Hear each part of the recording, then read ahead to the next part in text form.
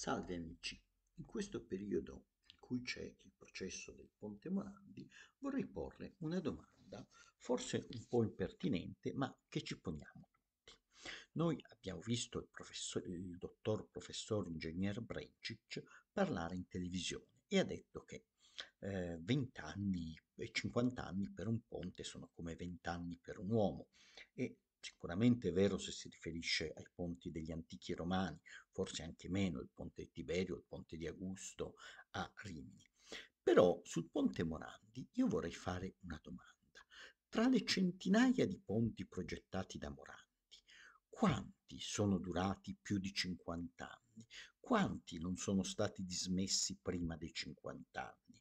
Ricordo che i due ponti gemelli del Morandi, uno vabbè è crollato perché una nave è andata contro un pilone, quello di Maracaibo, l'altro che era in Libia, anche se era stato fatto alcuni anni dopo il ponte Morandi, era stato chiuso al pubblico perché pericoloso ma anche gli altri. Io mi ricordo ad esempio in Toscana un ponte di Morandi sul fiume Elsa, che il primo gli durò 17 anni, poi ne progettò un altro che gli è durato 40 anni e quindi mi viene un dubbio.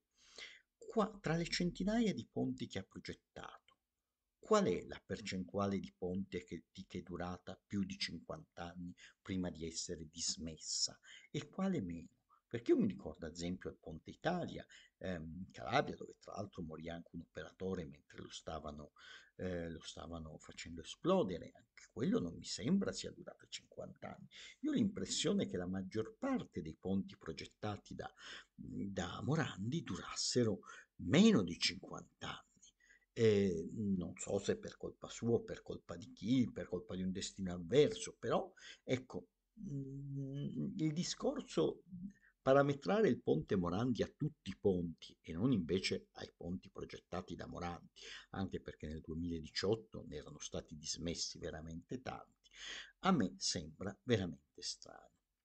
E che nessuno tra quei 58 ingegneroni sapesse che, eh, che tanti tanti ponti Morandi erano stati dismessi perché non più sicuri prima dei 50 anni e questo ne aveva già 51 ed era in avanzato stato di degrado, una zona industriale eh, con tanti elementi corrosivi, eccetera, eccetera. Non lo so.